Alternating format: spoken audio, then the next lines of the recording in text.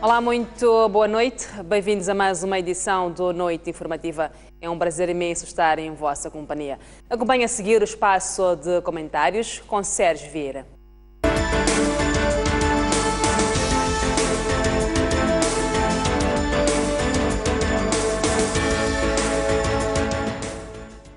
Como é habitual, a cada 15 dias, a Noite Informativa recebe Sérgio Vieira. Boa noite. Bem-vindo ao programa. Salma. Boa noite a todos os amigos, senhores telespectadores. Sérgio Vieira, quais são os fatos da semana que escolheu? Bom, esta é uma semana bastante rica. Temos, hoje estamos dia 18, anteontem, dia 16, celebramos 55 anos do massacre de Moeda. Eh, celebramos os 35 anos de Metical no próximo sábado vamos celebrar eh, os 95 anos que teria Eduardo Mondlane. E na próxima semana, os 40 anos da independência. De modo que estamos num momento de muitos acontecimentos e de acontecimentos que marcaram a história de Moçambique e a história de todos nós. É verdade. Bem, além da, destes fatos, hoje nós vamos falar um pouco uh, daquilo que foi o mandado de captura contra o Antes presidente disso, do Sudão? Talvez, porque saltamos completamente. Uh, eu diria, os 55 anos de moeda uh, foram de uma importância muito grande. Porque foi um despertar de consciência para todos nós. Que o colonialismo português massacrava, não estava disposto ao diálogo. E Moeda não é um ato isolado. Houve outros massacres aqui. Antes, e também na mesma época houve Colobengo em Angola, houve Pijiguiti em, na Guiné-Bissau. Nós tomamos conhecimento do massacre de Moeda através das notícias que nos traziam os marinheiros. Havia cabotagem, havia os navios que faziam a ligação entre Moçambique e Portugal e havia marinheiros cabo-verdianos. E encontrávamos no Clube Marítimo em Lisboa, e eles traziam-nos cartas e traziam-nos notícias. Foram eles que nos trouxeram a notícia do massacre de Moeda. Que, evidentemente, como eu disse, não era um ato isolado. Houve massacres constantes do colonialismo português e não só Moeda em Moçambique. Sim. Como disse, Angola e Santo Tomé. 35 anos do Matical. A razão da escolha do 16 de junho eh, como data para a criação do Metical, o Presidente Nussi, eh, há dias, no dia 16, mencionou, era que era uma mudança, era uma independência da nossa moeda, era o afirmar a nossa libertação do escudo português. Foi talvez das operações mais complexas eh, que houve neste país, que se fez em segredo absoluto, não houve nenhuma fuga de informação, nem meia fuga de informação. Houve muita gente envolvida que não sabia qual era a tarefa que estava a cumprir e que cumpria. Pensava que era outra coisa completamente diferente. diferente. Uhum. As pessoas que sabiam da criação, eh, além do Presidente Samora, que me deu instruções nesse sentido, havia o Ministro Monteiro e o Ministro Veloso. Uh, e, mas eles próprios não estavam dentro do detalhe da organização. Quem estava comigo a trabalhar na organização era a Cândida Prestrelo e o Matias Xavier. E depois houve muitos outros camaradas envolvidos, mas como disse, não sabiam o que é que estavam a fazer concretamente. Foi uma recuperação da nossa identidade. Outros acontecimentos importantes neste período, sábado, temos a celebração dos 95 anos do nascimento de Eduardo Montlano. Sei que vai haver uma celebração na sua aldeia natal, mas gostaria talvez de dizer uma coisa. Sim. Mondlane foi assassinado por uma bomba preparada por um PID muito conhecido, Casimiro Monteiro. Ora, é interessante que este Casimiro Monteiro é ele quem pessoalmente dispara e mata o general Humberto Delgado também no mês de fevereiro, e a secretária do general Humberto Delgado. estava com outro PID de Rosa Casaco, quando é o assassinato de Delgado. E é curioso, e talvez a gente deve perguntar, de todos aqueles PIDs, criminosos, assassinos, eh, organizadores de massacres, estou-me a lembrar do Sabino, que foi um dos organizadores do massacre do Iriamo. O que é que aconteceu-lhes? O que é que lhes aconteceu em Portugal? Salvo o devido respeito, e sem maldade nenhuma, e sem pronunciar sobre inocência ou culpabilidade, parece-me que o antigo primeiro-ministro Sócrates fez mais tempo, já fez mais tempo de cadeia que qualquer assassino e torcionário da PID. Como é? Não sei. Alguém poderá explicar naquele país. Creio que estes são os acontecimentos mais significativos desta semana, que está, em que estamos, e que termina no, no sábado, e para a próxima semana teremos os 40 anos da independência. Mas queria me perguntar, estava-me a perguntar vamos, vamos, sobre o Bashir. Eu vou seguir mesmo o seu fio de pensamento, uh, antes de falarmos sobre o Al-Bashir. Uh, falou aqui da morte de Eduardo Molhães, também falou daquilo que é a história de Moçambique. Uh, colocou a questão de que o que aconteceu com estas pessoas. Também houve o caso de, de, de, de Samora Machel. Samora Sim. Machel faz parte da história de Moçambique, teve um papel fundamental. Quando do acidente de Mbuzine que vitimou uh, Samora Machel, o Sérgio Vieira era ministro da Segurança. Uh, há várias uh, teorias do que aconteceu naquela data. Sérgio Vieira, o que é que de fato aconteceu? Uh, o, o, acidente que vitimou Samora Machel foi, de, foi um ato criminoso ou foi exatamente um fator humano? Todos os dados que eu tenho, todos os dados que nós apuramos, mostram que foi um atentado. Uhum. Não houve nenhum erro humano.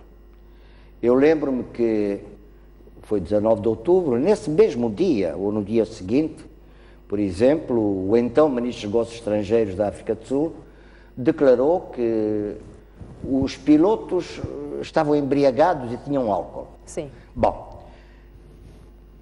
os corpos dos pilotos foram autopsiados foram autopsiados. E na equipa do, da autópsia havia médicos forenses sul-africanos, moçambicanos, estava lá, por exemplo, o, o professor Fernando Vaz, eh, havia médicos soviéticos. Havia também cubanos, tinha havido morte de, do, do, de cubanos que estavam no avião.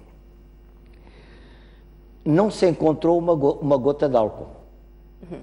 nos corpos das pessoas tirando aquele álcool que surge normalmente com a decomposição que se inicia num corpo. Uhum.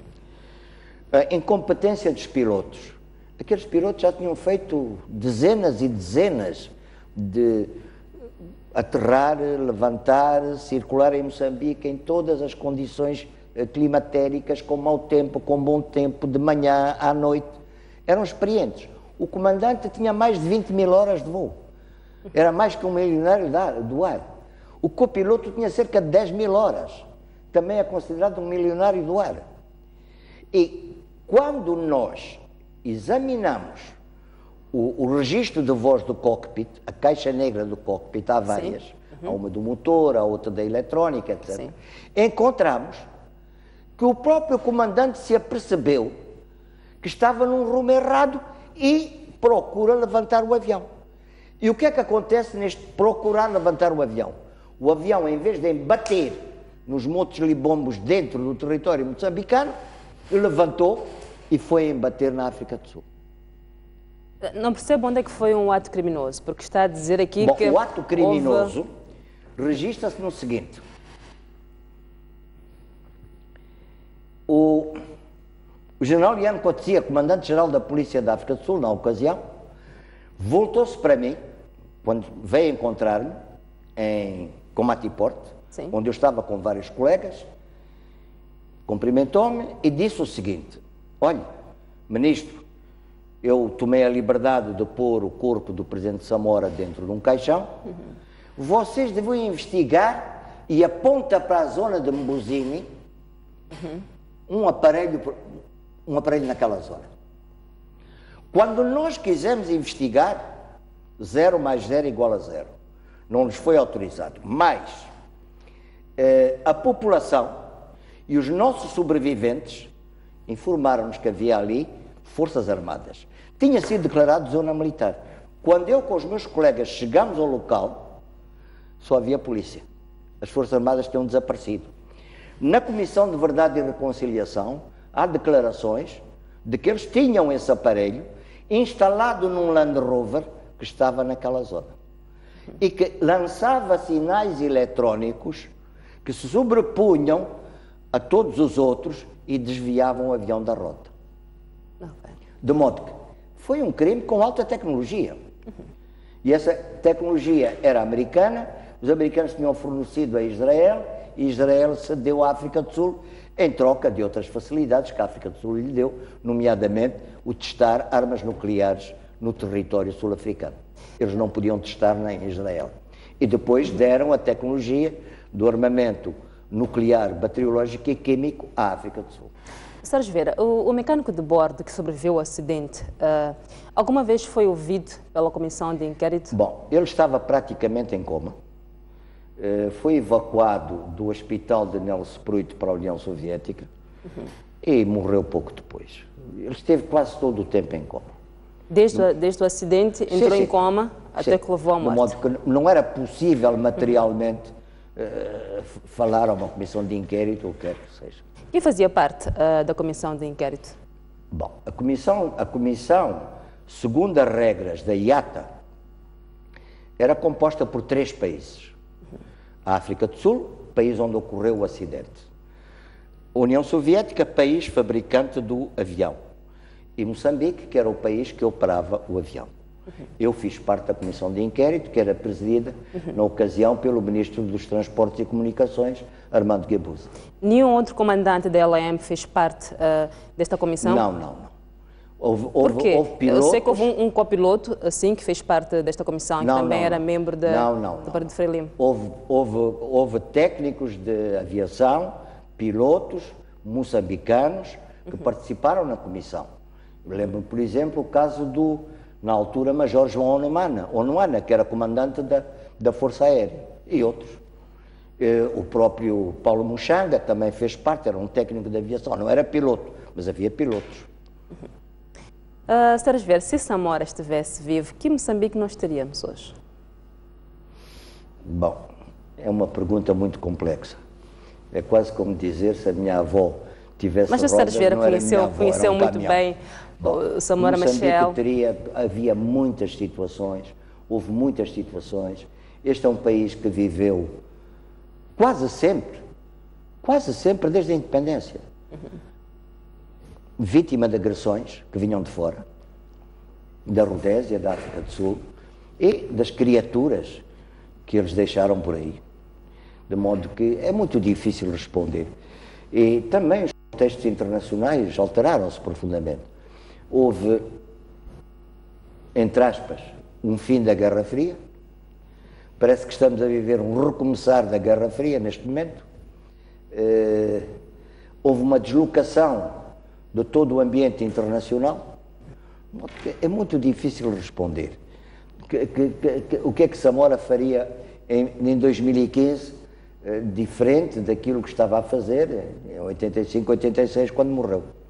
Qual era a diferença? Bom, provavelmente em algumas questões. Creio que ele seria muito mais exigente em termos de luta contra a corrupção.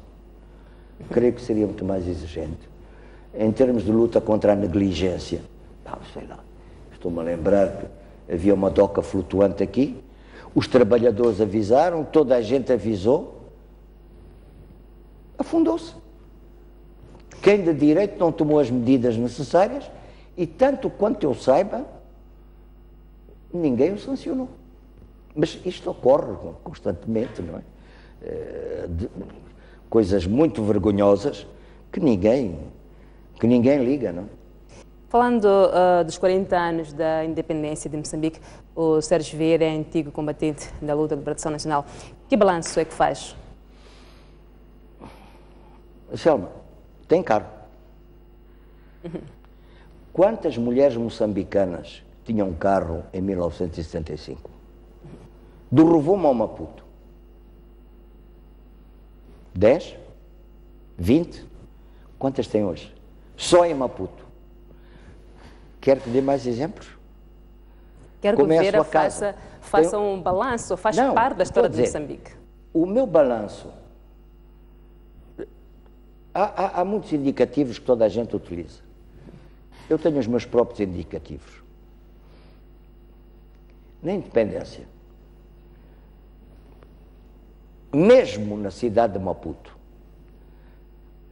quantas pessoas a gente via descalça? Hoje, nas zonas rurais, eu ando muito nas zonas rurais, é raro ver alguém descalço. Na independência,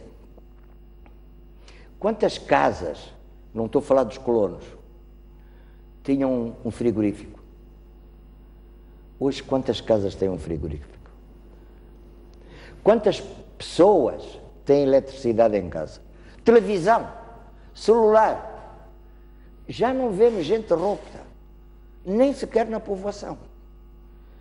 Há uma alteração substantiva daquilo que foi estes 40 anos. Há um crescimento, há uma emergência de uma camada média. E nas zonas rurais há um crescimento de uma... Bem, um... Há indicativos falsos. Dizem-me que as pessoas nas zonas rurais vivem com menos de não sei quantos dólares por dia. Bom, ele paga a comida. Isso não conta? Ele não vende o milho, a mandioca, o feijão, a galinha, o cabrito. Não vende. Então, esses cálculos têm que ser feitos de uma maneira mais rigorosa. Está a dizer que faz um balanço positivo e que, de fato, uh, valeu a pena. Absolutamente. Uh, lutar pela independência do Olha, país. Selma, hoje, hoje, numa só universidade, numa só, não estou a falar das 50 capas que existem, à volta de 50, numa só, há mais estudantes do que havia na escola primária oficial no momento da independência. Obviamente que quer que eu lhe diga?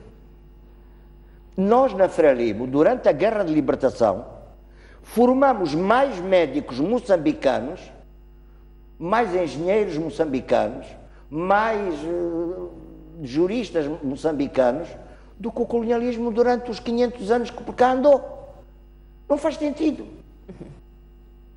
Tínhamos mais alunos nas escolas do que em todas as escolas oficiais do, que existiam no país.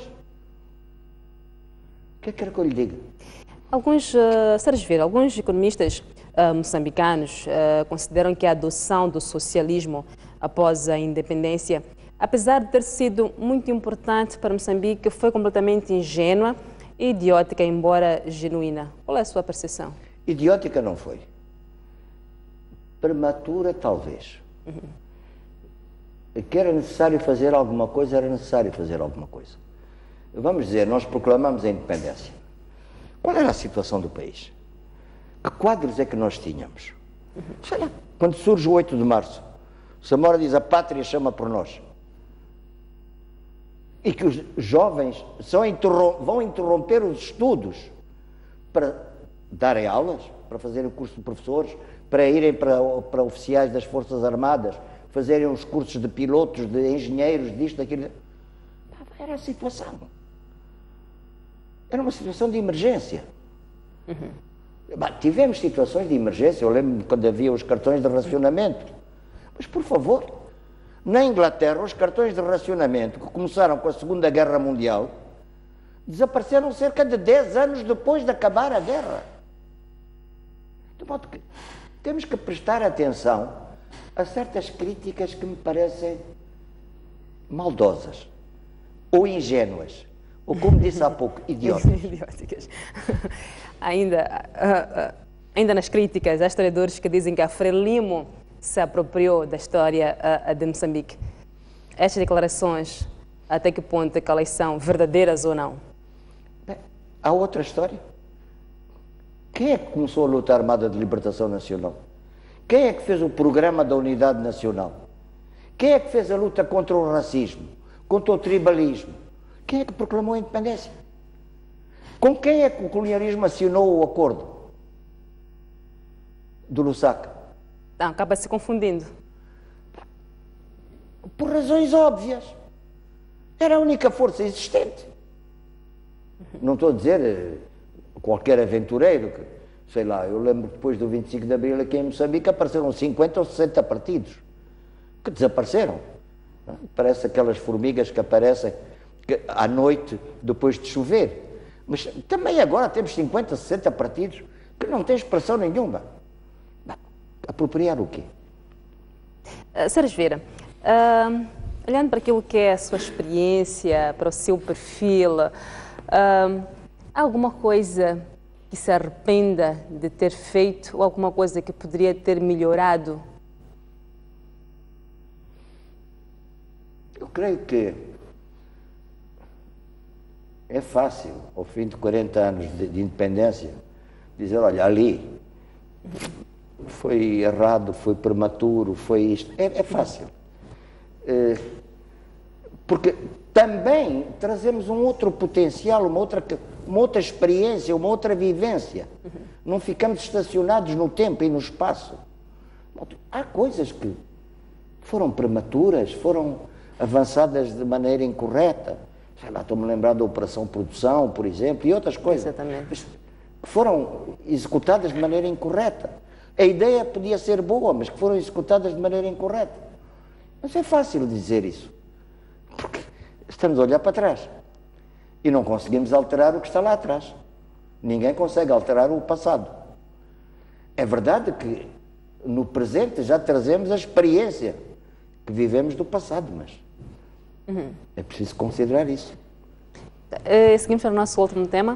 Uh, vamos falar sobre o mandato de captura contra Omar al-Bashir. Uh, uh, Vieira, o presidente do Sudão, Omar al-Bashir, é acusado de crimes de guerra e contra a humanidade cometidos durante o conflito em Darfur, região no oeste do Sudão, no qual, segundo a ONU, cerca de 300 mil pessoas morreram e mais de 2 milhões foram, foram forçadas a fugir uh, dos seus lares. Uh, penso que acompanhou a Cimeira na África do Sul. Uh, Al-Bashir já voltou a Khartoum depois uh, as autoridades sul-africanas não cumpriram com a ordem de prisão internacional emitida pelo TPI, que é o, Tri o Tribunal Penal Internacional. Como é que olha para esta situação, tendo em conta que a África do Sul é signatária do TPI? Olha, por mais signatário que seja, a África do Sul é signatária também dos Acordos de Genebra que regulam relações diplomáticas entre países. A África do Sul era um país hospedeiro da União Africana. Sim. Eu aqui em Moçambique, ou na África do Sul, se eu quero prender um funcionário de uma embaixada, vamos dizer, um adido cultural, um adido militar, um, é, não posso. Ele goza de imunidade. Tem que ser autorizado pelo seu governo para que eu o prenda ou então mando-o embora. Mas não posso impedir, está a ver? Não posso prendê-lo, não posso detê-lo. Não tem pés nem cabeça. Há uma reunião da União Africana. Os países vão lá pela União Africana. Uhum. O organizador é a União Africana. A África do Sul é apenas exclusivamente o hospedeiro. E o hospedeiro tem que garantir todo o respeito e toda a hospitalidade aos seus hóspedes. Uhum. O presidente do Sudão ou qualquer outro presidente não pode ser preso, não pode um tribunal sul-africano dar essa ordem. Por que, é que um tribunal sul-africano não dá uma ordem de prisão para os criminosos sul-africanos que cometeram massacres na África do Sul e aqui? Não pode, que não, ser, não pode ser o, o tribunal. Próprio, desculpe, o tribunal não tem autoridade para fazer isso. Mas o TPI é que emitiu o mandato. Está bem, emitiu o, o mandato. O fato de ser signatário significa dizer, que ele tem uma responsabilidade pronto, em deter. O TPI, ah, ouça bem o que eu vou dizer, que eu, tirando uhum. os sérvios, que são brancos, só se preocupou em atacar países da África. Uhum. Alguma vez ouviu dizer que os criminosos de guerra do apartheid que cometeram crimes aqui em Angola e na África do Sul, recebe, o TPI alguma vez deu um mandato? Não, porque são brancos e são protegidos. Ou da Rodésia, ou de Portugal, ou de outros países que estiveram envolvidos em conflitos. Desculpa. Não se destruiu recentemente a Líbia. Era um país que funcionava. A partir da ideia de que o TPI é ocidental, está para interesses ocidentais. É a sua conclusão. Mas, eu mas a, a, dificuldade Sérgio Vieira, em, tendo, em em conta divergir. aquilo, tendo em conta aquilo que são os crimes pelo qual uh, o al-Bashir você está a falou ser dos mortos em acusado. Darfur.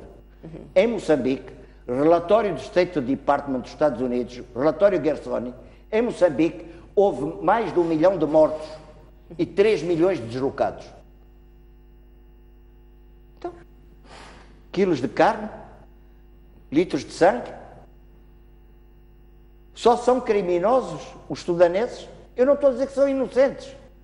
Perceba-me. Mas só se olha para o Sudão. E o que aconteceu? Mais. Não se destruiu agora, recentemente, a Líbia.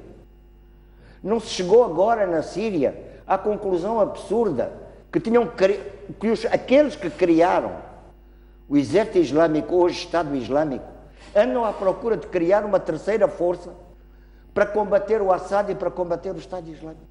O Sérgio Vieira diz que, Essa gente o, não vai para o tribunal? diz que o TPI eh, não anda atrás dos brancos. A minha questão é, ah, se os africanos cometem crimes, ah, nós estamos aqui, nós aqui a encobrir, por exemplo, o presidente do Sudão, nós estamos a dar um aval, a dizer que o que ele está a fazer de fato está correto, tendo o pensamento ah, do Sérgio Vieira? Eu não estou a dizer que ele está correto ou não está correto. Não estou a dizer que ele é inocente ou culpado. Estou a dizer o TPI nunca deu um mandato e nós tivemos aqui mais de um milhão de mortos e 3 milhões de deslocados. Do seu ponto de vista, porquê? E eu pergunto porquê. Destruiu-se a Líbia, destruiu-se o Iraque. Há mais mortandade hoje no Iraque que foi atacado porque tinha armas de destruição massiva. Há algum mandato contra o Bush? Quando destruiu o Iraque? Hoje morre mais gente que num, num mês do que durante todo o período de Saddam Hussein. Houve algum mandato contra o Bush filho? Desculpem, então até façam as perguntas. Vamos lá examinar fria e objetivamente. O que é que estamos a falar? Eu não estou a dizer que o, Bashir- o presidente al-Bashir é inocente, que não, que não tem Olha, que quando, responsabilidade quando, Bashir chegou, quando Bashir chegou ao Sudão, foi recebido por simpatizantes do partido, representantes do governo, membros do parlamento. Eles gritavam frases como bem-vindo, herói da África, bem-vindo, leão do continente, e vai para o inferno do Tribunal Penal Internacional. Quer dizer, enquanto carregavam um, um caixão com a inscrição funeral do TPI. Então, de fato, os Olha, africanos eh, posso não estão dizer, muito... Eu posso dizer que eu não tenho respeito pelo TPI, por aquilo que tem sido a postura do TPI. O TPI não tem uma postura independente. Nunca teve. Olha para uns, não olha para outros, aos filhos e aos enteados. Com isso, eu não estou a dizer que o Al-Bashir é uma boa pessoa. Até tenho, os dados que eu tenho, até me parece que é um criminoso. Até me parece que é um criminoso. Mas não é isso. Ele estava com imunidade no território sul-africano. Nenhum tribunal tinha autoridade para o prender ou para proibir que ele saísse do território. Bem, Sérgio Vieira, nosso ah, tempo da antena ah, já escutou, mesmo para tecer últimas considerações e encerrarmos o nosso espaço. Bom, posso dizer que agradeço a vossa paciência e agradeço o convite e volto a dizer que tem que haver uma jurisdição internacional, mas tem que ser ponderada e tem que ser independente. Não haver parentela, filhos e enteados. Um tribunal que tem filhos e enteados, por favor, não é tribunal. Sérgio Vieira, muito obrigada por Muito ter obrigado. vindo. Boa noite. Boa noite e até a próxima. E assim foi o espaço de comentários com Sérgio Vieira.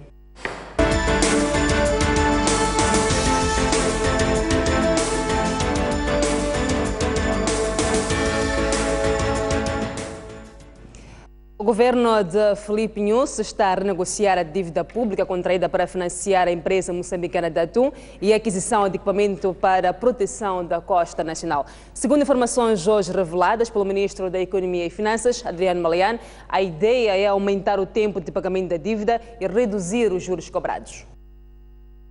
Depois de anos debaixo da polêmica, a dívida da Ematum vai ser renegociada.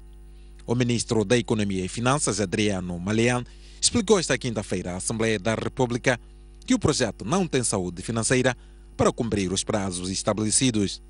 Estamos neste momento a mobilizar os financiadores para uh, revisitar esta operação em particular de Matum, porque, como podem recordar, sete anos, mesmo com um período de diferimento de dois anos, 500 milhões que nós temos que pagar é muito pouco tempo e as taxas são elevadas. Então é preciso encontrar formas para estendermos o prazo e trazermos também a taxa de juros para baixo. Isto já está em curso e nós articulamos com os parceiros, todos os parceiros internacionais estão, estão de acordo com a nossa posição, incluindo o Fundo Monetário Internacional. O ministro da Economia e Finanças esclareceu ainda a distribuição dos 850 milhões de dólares. 500 milhões foram destinados à proteção costeira e serão assumidos pelo Tesouro, e os restantes 350 estão a ser geridos pela empresa moçambicana de Atum. Foi feito um levantamento mais exaustivo que a empresa proporcionou e chegou-se à conclusão que, afinal, a, o equipamento, os barcos mais mais, uh, mais o equipamento complementar, tudo uh, chegava à conta de 500 milhões, ou seja, havia necessidade de adicional, adicionar 150 milhões. É por isso que a estrutura passou a ser 350 milhões para a empresa, que vem no balanço, e 500 milhões para uh, o, o Estado. A Ematom é um negócio fechado em 2013 pelo anterior governo de Armando Guibuza.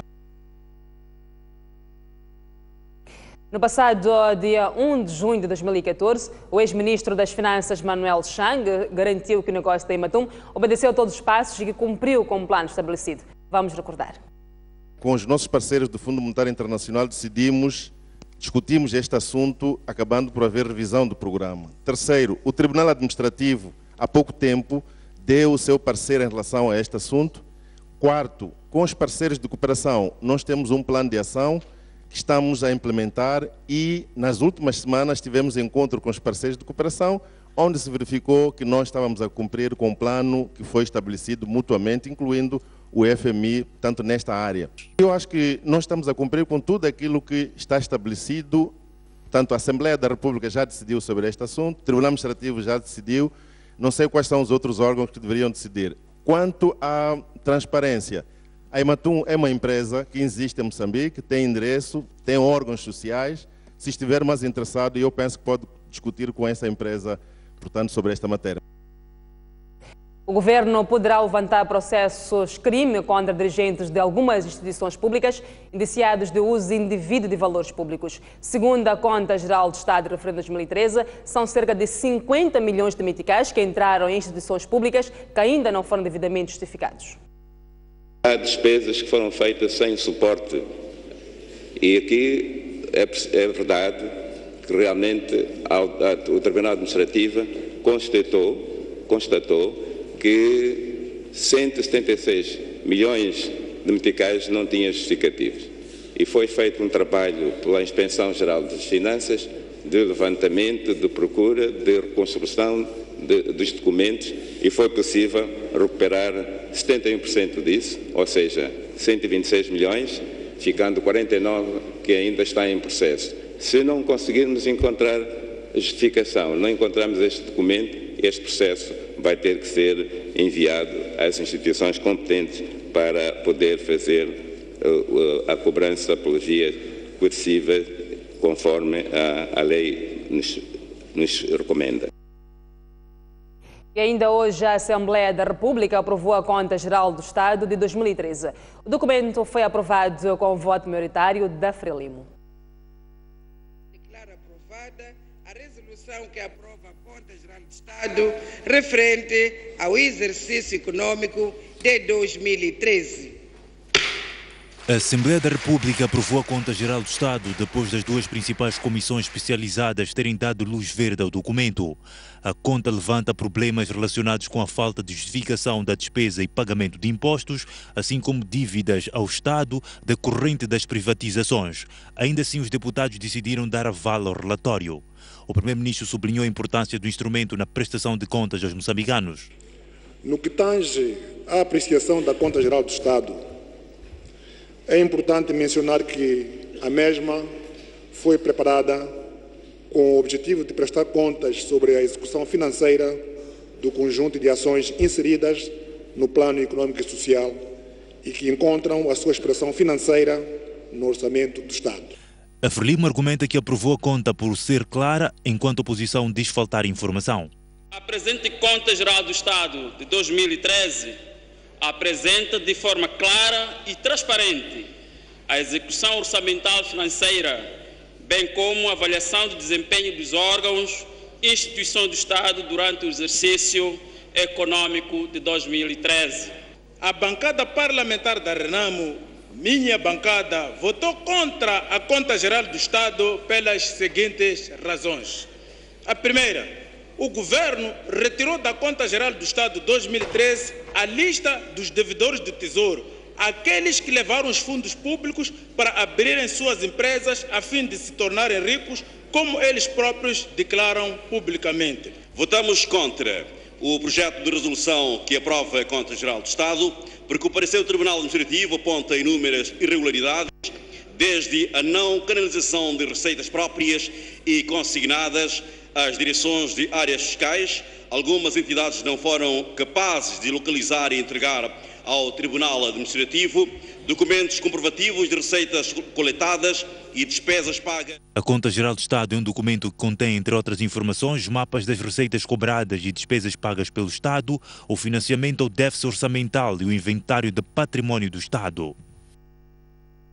Foi raptado mais um cidadão na cidade de Maputo. A vítima, cujo nome ainda não foi identificado, foi abordada na manhã desta quinta-feira por quatro criminosos fortemente armados.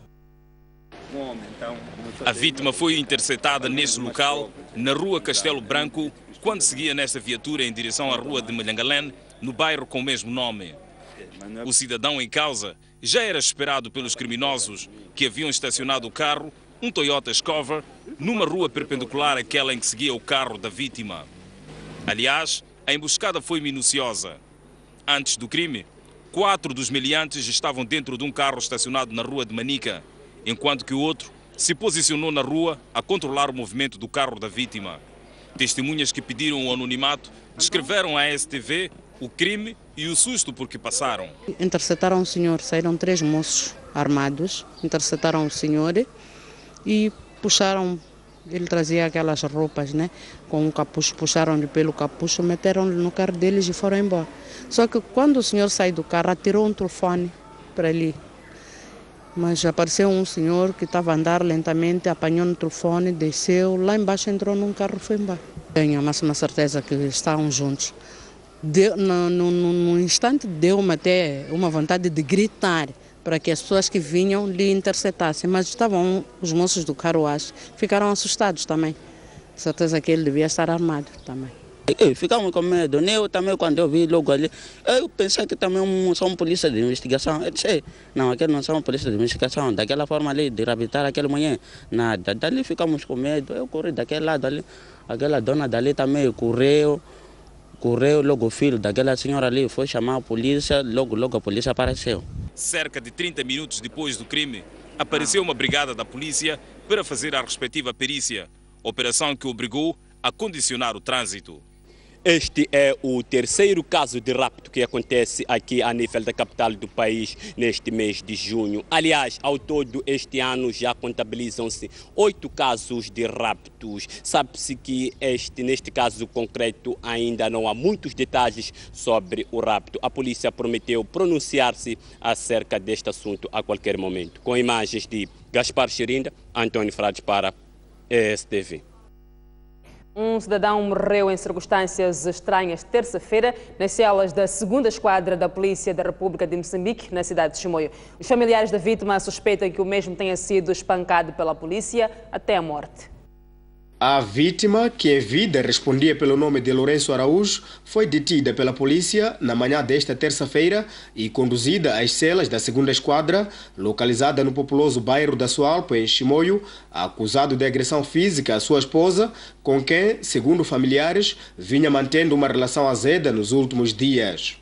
Estranhamente, a família viria esta quarta-feira a receber informação através da polícia de que Lourenço Araújo perdeu a vida a caminho do Hospital Provincial de Manica após ter se queixado de dores no corpo. A versão da polícia não colhe consenso no seio da família e esta acredita que a vítima tenha sido espancada até a morte por elementos da corporação. Nós, o que tem acontecido, nós vemos bem, porque como nós estávamos lá de perto, só que só sabemos que pode ser que bateram, torturaram a ele. Quando torturaram, talvez podem que torturar num sítio não próprio do corpo. E ele sofreu. A polícia, através do chefe das relações públicas, Bartolomeu Amone, nega que o cidadão tenha perdido a vida nas celas, reiterando a posição dada a conhecer à família de que a vítima sentiu-se mal e foi levada ao hospital onde veio a morrer. Que não é verdade que morreu alguém nas celas da polícia. O que aconteceu é que esteve detido nas celas da segunda esquadra nacional Lourenço Antônio Araújo, aliás, Canda, por crime de ofensas corporais e quando eram cerca de uma hora do dia 17, uh, eh, o mesmo começou a queixar-se de certas dores. E o colega que esteve lá a guarnecer as salas, quando ficou informado, uh, tomamos providência. Foi transportado ao hospital e posteriormente tomamos conhecimento que a perder a vida ao tal cidadão. A STV deslocou-se à maior unidade sanitária da província de Manica para colher a versão hospitalar, mas ninguém mostrou-se disponível a falar sobre o assunto. No entanto, enquanto produzíamos esta reportagem, a família veio exibir-nos esta certidão de óbito, a qual indica como possíveis causas da morte de Lourenço Araújo a asfixia ou enforcamento. Afinal, qual é o lado da verdade? Uma família na cidade da Matola acusa o Conselho Municipal de usurpar a sua parcela de 2 hectares para atribuir a outros intervenientes. A disputa da parcela 3.380-18 entre a família Munguambi e o município da Matola arrasta-se há dois anos, mas a situação agravou-se este mês quando a idilidade de Calixto Coça deitou abaixo o muro e os armazéns construídos no terreno. Indiferentes a tudo e a todos, estes homens trabalham para levantar novas construções. Mas a presença da polícia municipal no local denuncia algo anormal. Em vez de, de, de, sentarem explicarem-nos com clareza o que é que está a acontecer, vieram cá, destruíram tudo que tínhamos aqui. Anos de trabalho, né? um investimento altíssimo que nós fizemos, é custo do nosso suor. Isto dói.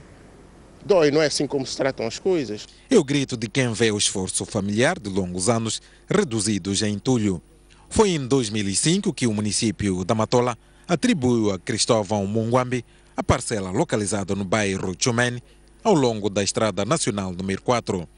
Equivalente a cerca de dois campos de futebol, o espaço destina-se a aproveitamento industrial e, numa primeira fase, o proprietário queria instalar bombas de combustível, armazém e oficinas apercebemos-nos que o projeto que nós queríamos implementar, havia aqui um, um outro cidadão que queria implementar o mesmo projeto. Uh, submetemos um, um, novo projeto de construção de materiais de construção uh, e implementamos, construímos os armazéns, construímos o, portanto, o local onde fazíamos os permoldados, compramos máquinas, equipamento para fazer construção e fomos fazendo construções para outras entidades. Enquanto o estaleiro de material de construção avançava, surgiu uma nova ideia: construir um centro comercial e de serviços e um terminal de transportes públicos. Para a implementação do projeto, a Sojecol solicitou uma parceria ao município da Matola. O elenco de Arão Nhancal respondeu em maio de 2009 que iria submeter o pedido à Assembleia Municipal depois da conclusão do plano de estrutura urbana. Veio a equipe interina, pega no projeto que estava na mesa, em vez de, de nos contactarem para uh, implementarmos a, a terminal, não. Apercebemos-nos que havia aqui um movimento estranho, em que haviam chineses envolvidos, etc, etc.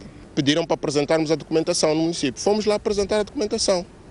Na altura, a equipe que lá estava disse: Mas que confusão é esta? O que é isto?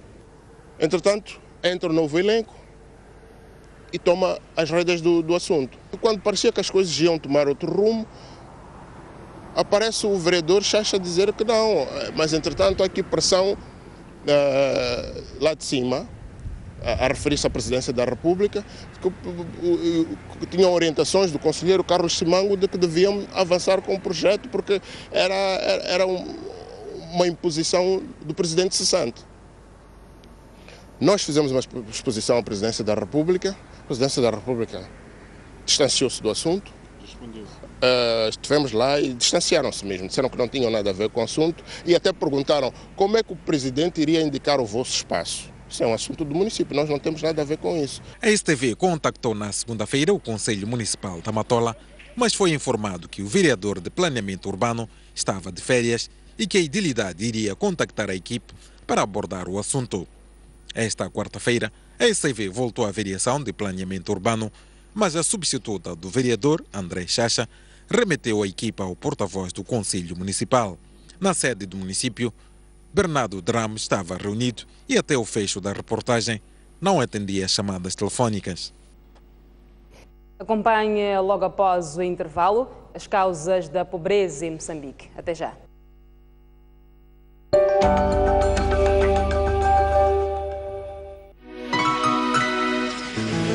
Moçambique é um país com um vasto repertório artístico e cultural.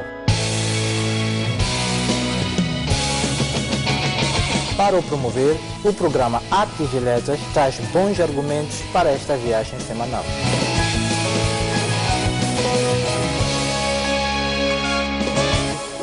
Conversando com os nossos autores, o Artes vai mantê-lo informado sobre os eventos artísticos, dando-lhe a imagem do que o país oferece ao longo da semana. Sempre gostei de escrever poesia. O impacto do livro na minha vida é muito grande. Trazer essas danças. A literatura não é sobre a verdade. Todos os sábados à tarde, contamos com a sua companhia. Por ocasião dos 40 anos da independência nacional, a STV leva a cabo uma programação virada à reflexão em torno da efeméride, porque um país sem história é um país sem futuro. Éramos competitivos. Nós temos que reconhecer que fizemos alguns erros. A revisão curricular. Formação e carreira. Dentro do ciclo, não se deve chumbar. É preciso romantizar para poder atacar Matequenha que está. Como é que encarou, como é que sentiu a proclamação da independência? Grande energia. Era o fim do colonialismo. Nós fomos portugueses, nós cantávamos o hino nacional, Heróis do Mar. A governação nos primeiros anos da independência foi baseada o mais possível no conhecimento que era possível ter naquela altura. Os primeiros homens treinados num país de leste foram treinados na, na União Soviética e eram em número de cinco, cinco pessoas normais, quando na Argélia tinham sido cerca de 250.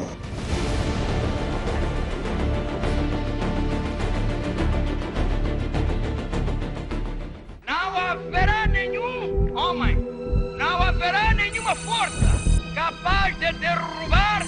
Um recuo a um passado bastante marcante.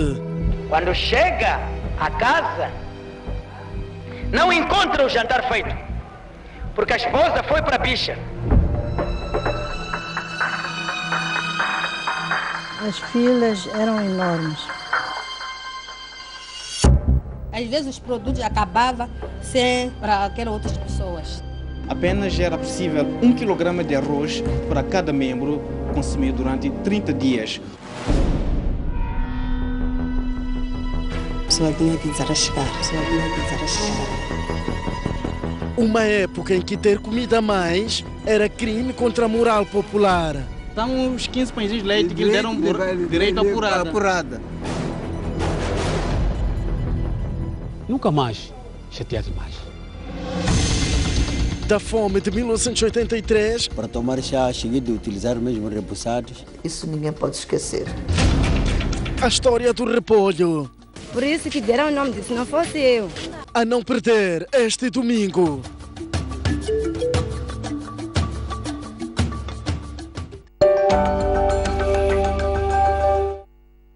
Estamos de volta ao Noite Informativa. Continuamos com as notícias. Mais de uma centena de jovens residentes no distrito de Inhamatanda, em Sofala, caíram numa rede de malfeitores com promessa de emprego nos caminhos de ferro de Moçambique Centro, que rendeu aos burlões cerca de 400 mil meticais em menos de uma semana. Este indivíduo corresponde pelo nome de João Antônio, é um dos mentores da burla. Foi ele que recebeu dos supostos candidatos os cerca de 400 mil meticais. Uma das artimanhas usadas para confundir as suas vítimas foi este papel que à primeira vista se parece com um documento oficial dos Caminhos de Ferro de Moçambique. Na verdade, a empresa Caminho de Ferro de Moçambique, em caso de anúncio de vagas, usa oficialmente um documento como este. João Antônio nega que seja uma burla e garantiu que recebeu instruções da sua superiora, ora em parte incerta, que responde pelo nome de Esperanças Domingo, para recrutar jovens para supostas vagas na sua empresa, que é especializada em medicina chinesa. Então, depois daí, de eu chamar as pessoas, é quando já começou o quê? E a capacitação. Eu disse que quem procurou espaço não sou eu, foi ela procurou espaço e aí no hotel, então lá em cima o espaço era um pouco menor, as pessoas não chegavam, então aí quando já eh, ocupou o espaço de embaixo. De... Foi ela que te orientou a cobrar valor aos seus candidatos? Não, o- acerca do valor, ela falou, porque tinha, alguns tinham documentos a falta, então precisava deixar um valor para quê? Fechar esses documentos que estavam a faltar. João Antônio alegou que a sigla CFM, que vem estampada nos papéis que foram entregues às suas vítimas, não tem nada a ver com a empresa Caminhos Ferro de Moçambique. Consoante o que eu recebi, um papel que eu recebi, estava escrito assim, esse CFM não é o nome dessa empresa CFM, mas sim o nome da capacitação, que é Centro de Formação da Medicina. Porque eu não quis questionar porque eh, é uma coisa que eu recebi. A polícia em Sofala garantiu que o ato em torno da detenção deste indivíduo já foi lavrado e decorre inteligência no sentido de se localizarem os outros 11 integrantes do grupo. O único detido dos 12 burladores alega que não se trata de nenhuma burla, mas de um mal-entendido por parte dos mais de 100 jovens, pois a empresa existe e a sigla CFM é apenas o nome de um dos cursos ministrados. Em finais de maio passado, um grupo composto por 12 indivíduos, este é um dos cabecilhas, juntou-se na beira e criou uma suposta empresa denominada CFM, que se confunde com os Caminhos de Ferro de Moçambique, e foram no distrito de Inhamatanda, localizado a cerca de 100 km da cidade da Beira, onde falsamente prometeram empregos mediante o pagamento de valores que variavam de 4 a 5 mil meticais. Para disfarçar a burla, os mentores da mesma exigiam ainda duas fotografias tipo passe, fotocópia de bilhete de identidade, registro criminal e um atestado médico. Sedentos de emprego, os jovens daquele distrito ocorreram em massa às supostas vagas e em menos de uma semana já havia mais de 100 candidatos inscritos. Eu tinha que preparar, pegar aqueles documentos, apanhar chapa, vim para aqui, cheguei aqui às 22 horas, na, na Munhava. Quando eu cheguei aí, avistei com ele, entreguei aqueles documentos e o valor. Eu no domingo saí de casa, vi com 3 mil, aumentado aquele valor que me disseram. E eu vi com 3 mil, entreguei os 3 mil com documentos. Voltei para casa no dia seguinte, muito cedo, eu vi com 2 mil e entreguei. Ele disse que não tinha nada de reunião, então termina por aqui hoje, de- volta na terça-feira que vamos ter outras coisas. Há cerca de duas semanas, uma suposta formação já decorria, onde eram ministrados temas ligados à ética e deontologia profissional num estabelecimento hoteleiro na cidade da Beira. Então, vimos ele, subimos aí no hotel, ele ficou a pagar. hein. Quando saímos, fomos de lá dentro, encontramos tinha água mineral nas mesas, alguns repassados, ficamos, sentamos aí. É, ele, quando entrou, disse, epa, o diretor, não sei se ele vem, mas se ele vem, se, se- não sei se é de subir aqui em cima, ou ele é de ficar onde? Lá fora. Mas vamos começar com a aula. É, bom, o curso, da forma como eles falavam, falavam através de, da CFM. Tipo que vocês vão começar eh, eh, estudar aqui, depois daqui vamos onde? Vamos já no CFM. Depois disse que na segunda-feira nós íamos que, assinar o contrato. As vítimas estão desesperadas, pois recorreram a variadas fontes para pedir emprestado os valores que garantiram a suposta inscrição a empresa Caminhos de Ferro de Moçambique refutou qualquer ligação com a empresa em causa e garantiu que não existe no recinto portuário nenhuma clínica chinesa. O diretor dos Recursos Humanos do CFM Centro referiu que trata-se de uma ação que vem denegrir a imagem da empresa. Porque em nenhum momento o CFM, como tal, eh, cobra dinheiro para a admissão dos seus, dos seus, dos seus candidatos para, para emprego. Em nenhum momento faz cobranças. É importante referir que, mesmo quando nós fazemos o recrutamento, fazemos a seleção e fazemos a formação dos nossos, dos nossos candidatos, os candidatos, quando estão no Centro Regional de Formação, eles lá é, são formados, têm eh, um subsídio, nós pagamos um subsídio aos formandos não cobramos as pessoas. Mediante esta situação, os Caminhos de Ferro de Moçambique lançaram apelos ao público em geral e de forma particular aos jovens para não se deixarem cair nas armadilhas dos burlões. É que, é, que esperem que os anúncios sejam publicados nos jornais de maior circulação e depois desta publicação as pessoas deverão dirigir-se ao CFM, que é no edifício, para poderem fazer a entrega dos seus documentos lá e nós vamos triar os documentos, vamos fazer as seleções. Se houver necessidade, vamos, vamos fazer os testes psicotécnicos e só depois é que as pessoas serão selecionadas. Depois disso, vão à formação. E perante essa situação, eu queria apelar aos jovens, fundamentalmente aos jovens, para não se deixarem cair nessas, nessas tentações. Na UE, na rua, em que nós vamos, portanto, recrutar as pessoas, os anúncios são feitos, as pessoas vêm apresentar as suas candidaturas na empresa e não na rua. O presidente da República diz que a Renamo ainda não entregou ao governo a lista dos seus homens residuais para serem integrados nas Forças Armadas de Defesa Nacional. Felipe Nunes respondia assim à população do distrito de Cabo Delgado, uh, distrito de Montepuez, em Cabo Delgado, que se mostra apreensiva pela falta de desfecho do diálogo político entre o Executivo e a Perdiz. Foi neste comício, realizado no centro do município de Mutepês, segunda maior cidade de Cabo Delgado, que na sua interação com o Presidente da República, a população que fulou local pediu para que o governo retome as obras de asfaltagem da estrada que liga Mutepês à província de Niassa, expansão da energia elétrica, abastecimento de água e progressão dos professores nas suas carreiras. A população queixou-se ainda da suposta inoperância da Procuradoria Distrital e intranquilidade em torno das sistemáticas ameaças da RENAMO. Pedimos a Sua Excelência para nos ajudar para superar as seguintes necessidades: insuficiência de água potável, em particular na sede do distrito, insuficiência de postos de saúde ao nível das localidades, constantes oscilações de energia elétrica provocando danos dos nossos eletrodomésticos na nossa cidade, expansão de energia aos postos administrativos e localidades, acabar estradas Montepuez-Roaça, Há oito meses estiveram aqui observadores foram embora. E já estamos ainda continuam, não foram tirados os seus homens no mato. Até quando que serão tirados? Domingo parece houve disparo na, na província de Tete. Agora, se eles continuam a, a massacrar o nosso povo, e o chefe da brigada, eh, o ministro da Agricultura que está lá para conversações, ele não entrega relatório. Esse relatório entrega ontem. Em que a pessoa que mandou, por que não toma medida?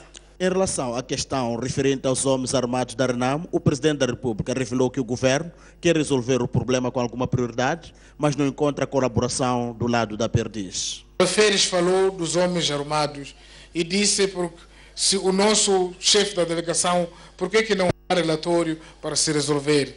Eu tenho relatório todos os dias, incluindo outro relatório que recebi hoje.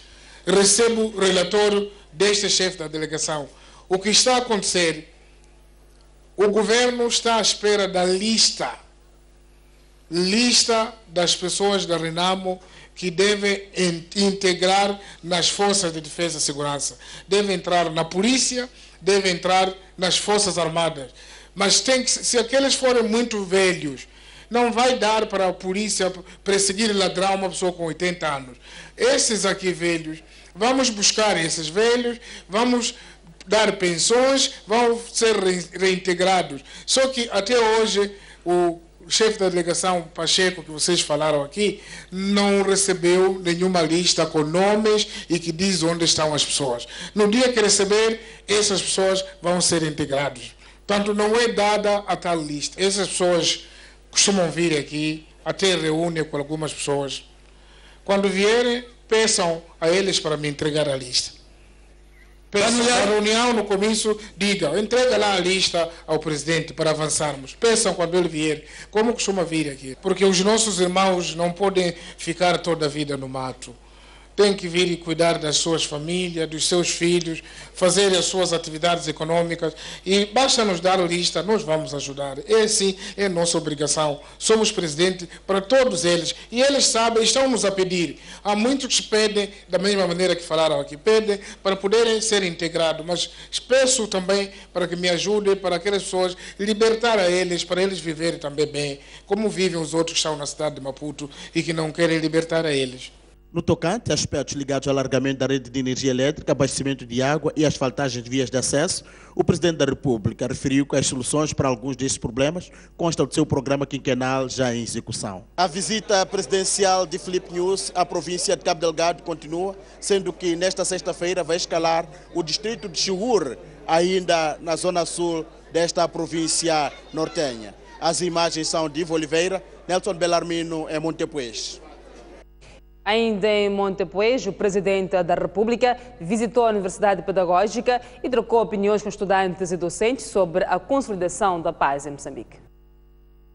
Antes do comício popular, na sua interação com estudantes, docentes e direção da Universidade Pedagógica Delegação de Montepuez, onde esteve de visita na manhã desta quinta-feira, o presidente da República pediu para que os acadêmicos abordassem com franqueza e frontalidade tudo o que entendem que o governo pode fazer mais para consolidar a paz no país. O que o governo de Moçambique, o que o povo de Moçambique deve fazer para que haja paz efetiva em Moçambique. Portanto, quero libertar-vos da lamentação, do murmúrio, de suposições, para vocês serem vocês próprios a dizer o que temos que fazer para que fiquemos em paz e nós vamos dizer se é possível aquilo que pedem ou se é impossível. Mas vocês fazem parte de uma classe com capacidade de avaliar o que tem que ser feito de uma forma sustentável. Diálogo e respeito às diferenças foram algumas das opiniões deixadas neste encontro como fundamentais para a manutenção da paz. Para que haja paz, é preciso que a paz primeiramente esteja comigo mesmo e depois esteja com o meu próximo e depois que a paz esteja na minha casa, com a minha família, e assim a paz vai em toda a comunidade. Talvez encontrar eh, novas técnicas, não é se já existentes não funcionam, então pode-se encontrar novas técnicas, não é? E, mas sempre privilegiar o diálogo. Já ouvimos os vossos conselhos, apesar de que em alguns aspectos volto como vim quando falam de resolver os problemas básicos, isso percebi, mas diálogo eu gostava de ver, eu queria ouvir quando dizem vamos reestruturar o diálogo, melhorar o diálogo, queria saber o que é isso melhorar. O que é isso melhorar? Também falaram muito bem do envolvimento eh, de todos os moçambicanos no processo do diálogo, não só um grupo. Se verificar bem, grande parte dos meus discursos tem sido assim, a não depende de mim. Eu posso aceitar, mas se você não aceita, pode fazer confusão. Então, como esse envolvimento de todos, como temos que fazer? Vamos investigar mais. Vocês têm tempo de vez em quando, quando estão a ver aquela psicologia, acho que quando vem alguém consegue ver que se pensa assim. Então é bom ver o que nós podemos fazer mais nesse aspecto. Concordei também ah, o respeito pelas diferenças na sociedade, é o que temos feito. Por isso mesmo dissemos que uns interpretam da sua maneira, quando dissemos que todos cabem no nosso coração, interpreta que todas as preocupações deles têm que ser resolvidas, mas pronto, seria bom se aparecesse um homem que faz isso, mas que significa que todos os pensamentos encontram lugar para nós podermos discutir os aspectos diferentes da vida do nosso país. Em atividade desde 2009, a Universidade Pedagógica Delegação de Montepuez conta com mais de 2 mil estudantes, divididos em O filósofo Severino Nguenha lançou a obra que chama a atenção para defeitos sintomáticos da democracia moçambicana, o nascimento da pós-política, a transformação de partidos em aparatos e a emergência de ciberintelectuais. Académicos, intelectuais, jornalistas e estudantes lotaram o anfiteatro da Universidade Técnica de Moçambique, em Maputo, para assistirem ao lançamento da obra Terceira Questão, da autoria do filósofo moçambicano Severino Nguenha. A obra fala do Moçambique atual. O autor apresenta um estudo sobre as condições que garantem a convivência pacífica entre os diferentes grupos sociais, políticos e étnicos.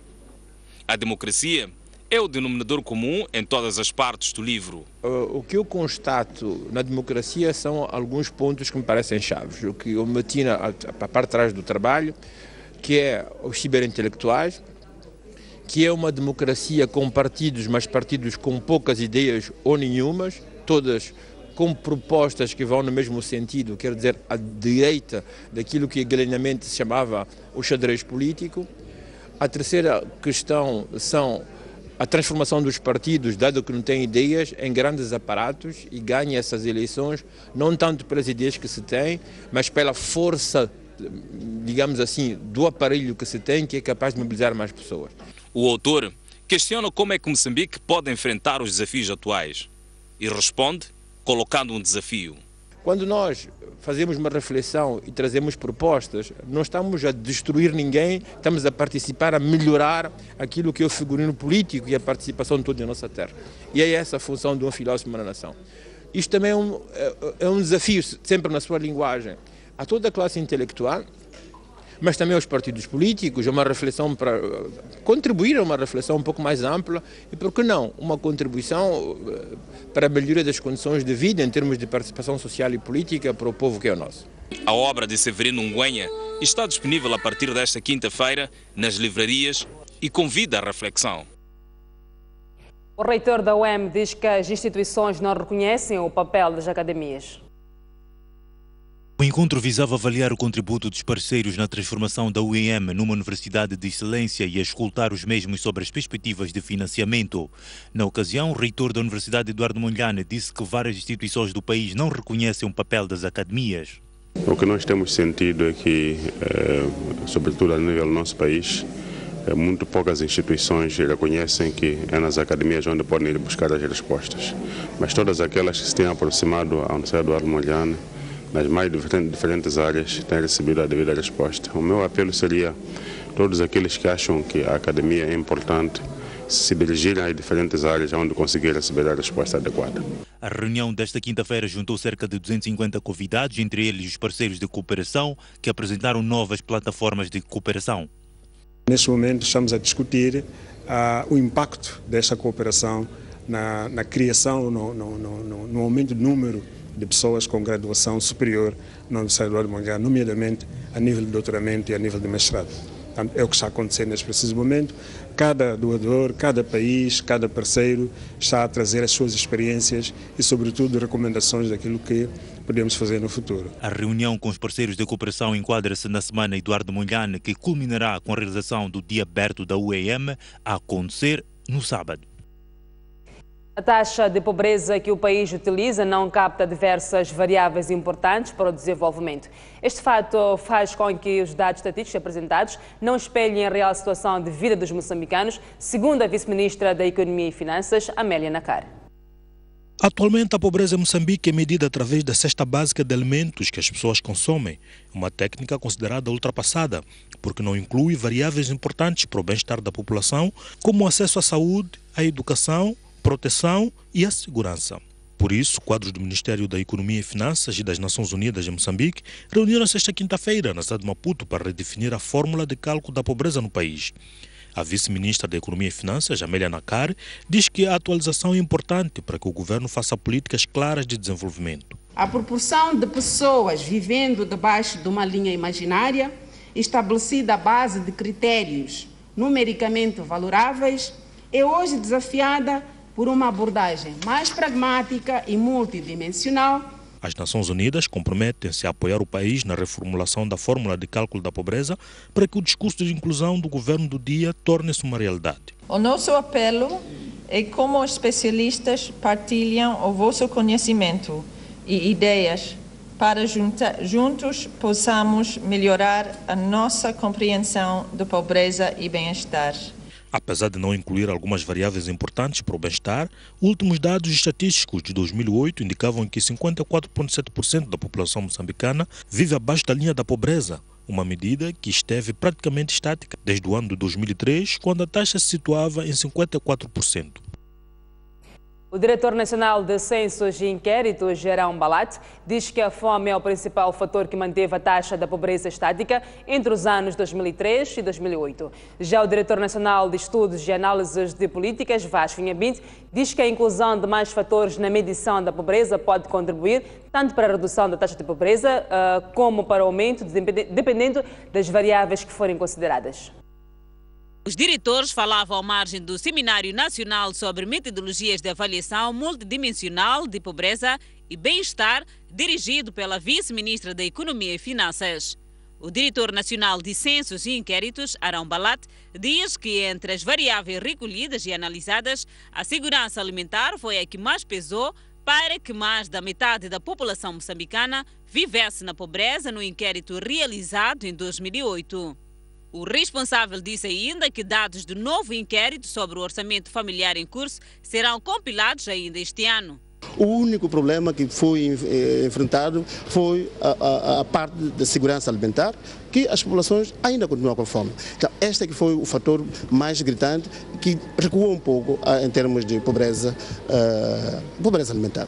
Já o diretor nacional de Estudos e Análises de Políticas, Vasco Nhambinte, diz que ainda não é possível estimar os resultados já a esperar com a inclusão de mais variáveis na medição da pobreza.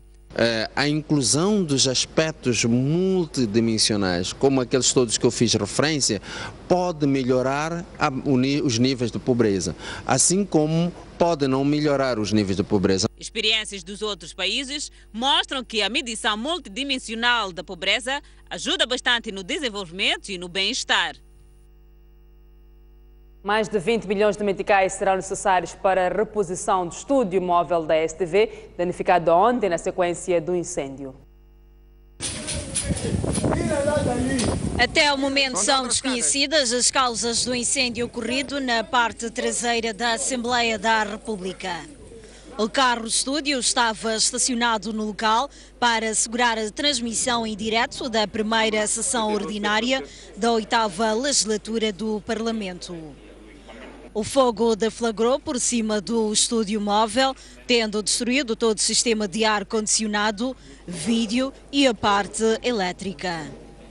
A viatura encontra-se neste momento nas instalações do Grupo Soico, depois de uma peritagem da Polícia de Investigação Criminal. De acordo com a Inoca Genónimo, administrador executivo do Grupo Soico, os danos são avultados. Neste momento, pelo aquilo que os técnicos fizeram levantamento, o levantamento ainda é muito preliminar, avalia-se em cerca de 20 milhões de meticais porque trata-se de equipamento muito sensível e quando as chamas, quando o carro estava a arder, eh, as pessoas que debelaram fogo tiveram que recorrer tanto aos extintores como à água. Então é difícil fazer uma avaliação muito exata, mas estima-se por aquilo que já foi identificado que até então ronda a cerca de 20 milhões de meticais. Segundo o Inox Anónimo, para peritagem, reparação e montagem de novas peças, serão mobilizados técnicos do fora do país que trabalharão em conjunto com os do Grupo Soico. Teremos que contactar alguns técnicos uh, de fora para virem cá e em conjunto fazermos esse, esse levantamento e também na compra tem que se fazer mobilização financeira para a compra de todos os equipamentos. O carro neste momento está imobilizado, ah, não pode andar, todo o sistema, tanto a parte mecânica do carro, não está a funcionar. O pior não aconteceu no incêndio, graças à prontidão da polícia, que vigia as instalações da Assembleia da República e dos vizinhos. Isto aconteceu, mas temos que olhar para frente e temos que continuar a trabalhar e que o carro telespectador não ficará prejudicado, porque de forma criativa nós teríamos que arranjar soluções. Em especial, gostaria de mencionar aqui pronta atuação dos agentes da Polícia da República de Moçambique, afetos à Assembleia da República e a todos os vizinhos que, em conjunto, conseguiram uh, extinguir as chamas do estúdio móvel. O carro estúdio incendiado é uma das principais unidades de transmissão em direto de eventos dos dois canais do Grupo Soico, nomeadamente a STV e a STV Notícias. Para ter acesso aos produtos básicos entre 1975 e 1987, era preciso suportar uma longa fila nas chamadas lojas do povo e nas cooperativas de consumo. Era o tempo do socialismo, mas a partir de 1980, Samora Machel sentiu necessidade de admitir o comércio privado para minimizar o drama. Manuel Aranda da Silva recebeu de Samora Machel a ordem para privatizar as lojas do povo.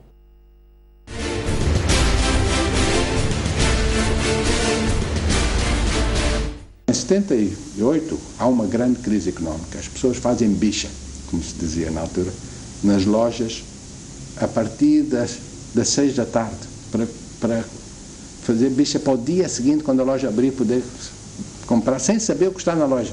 Nessa altura, então, o, o, o, o governo decide criar uma comissão nacional de abastecimento para olhar 78 essa comissão é chefiada pelo Jacinto Veloso, e, que era, na altura, eh, vai ser o primeiro-ministro da Segurança deste país.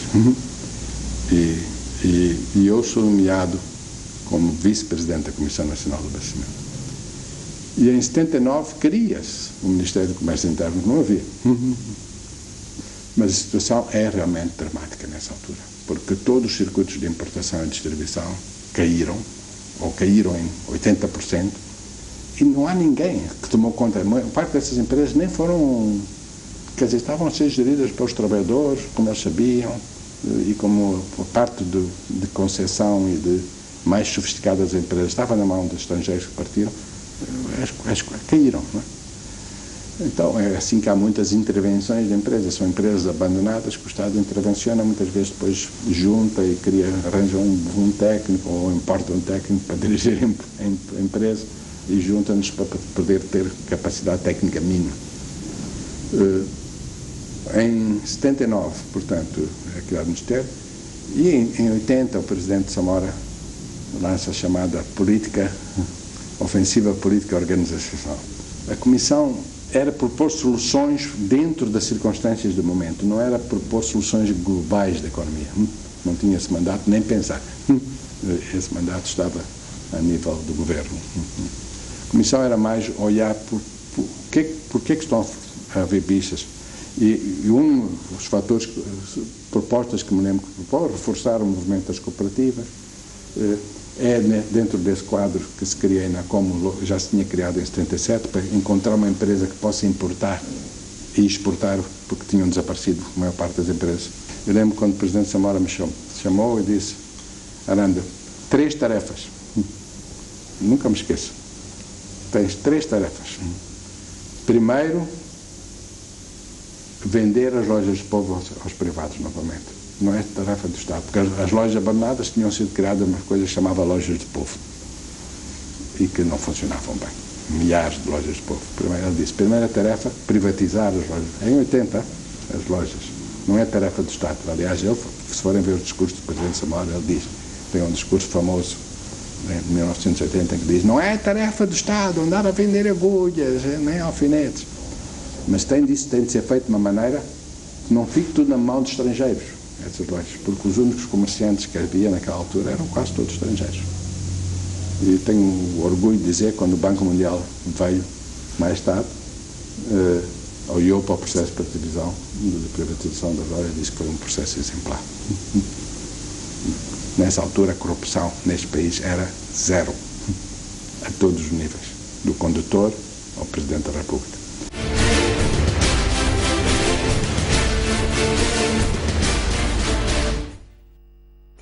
Acompanhe no próximo bloco, mais um cidadão foi raptado na cidade de Maputo. Até já.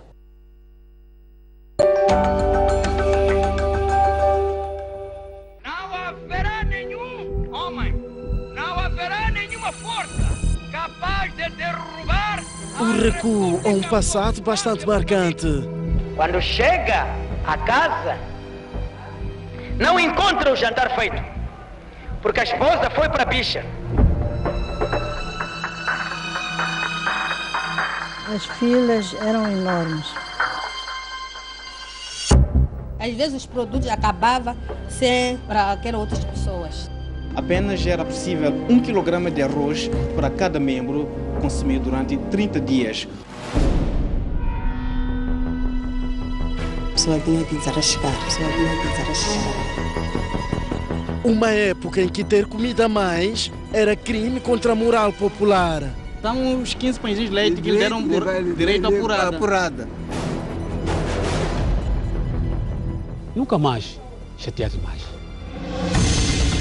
Da fome de 1983 Para tomar chá, cheguei de utilizar mesmo repousados. Isso ninguém pode esquecer. a história do repolho. Por isso que deram o nome disso, não fosse eu. A não perder este domingo.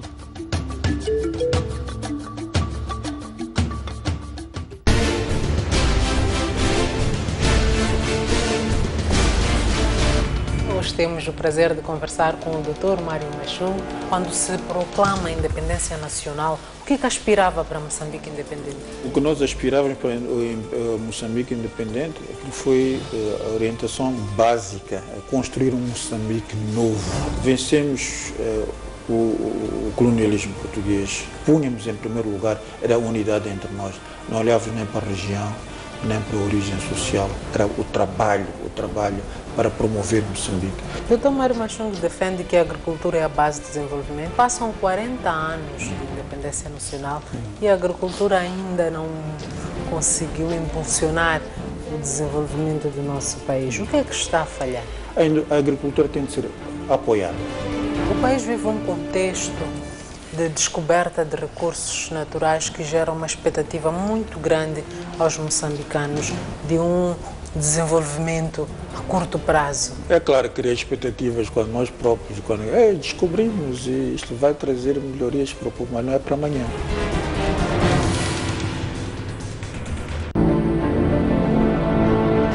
Figuras da nossa história. Governo de Transição. Mário da Graça Machungo, 34 anos. Ministro da Coordenação Econômica. Cargos posteriores: 1975-1978. Ministro da Indústria e Comércio, 1978. Ministro da Energia, 1978-1982, Ministro da Agricultura, 1982-1986, Ministro do Planeamento, 1986-1995, Primeiro-Ministro. Porque um país sem história é um país sem futuro.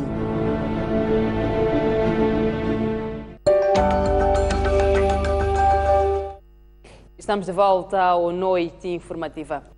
O governo de Filipe Nunes está a renegociar a dívida pública contraída para financiar a empresa moçambicana de atum, Ematum. De acordo com o ministro da Economia e Finanças, Adriano Malian, a ideia é reduzir os juros e estender o prazo de pagamento.